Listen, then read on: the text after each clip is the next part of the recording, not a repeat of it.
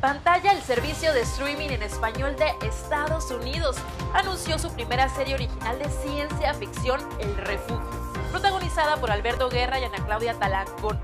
La serie estrenará el jueves 23 de junio exclusivamente en Estados Unidos y Puerto Rico. Y además del anuncio, Pantalla ha revelado las primeras imágenes de la serie, las cuales ofrecen un primer vistazo a las extrañas circunstancias que vivirá una familia con lo desconocido buscaban un refugio seguro. Para disfrutar del contenido de pantalla, visita www.pantalla.com diagonal es o descarga la aplicación de pantalla en iOS y Android. Para más información visita nuestro sitio web dalatina.com y síguenos en nuestras diferentes redes sociales de Facebook, Twitter e Instagram.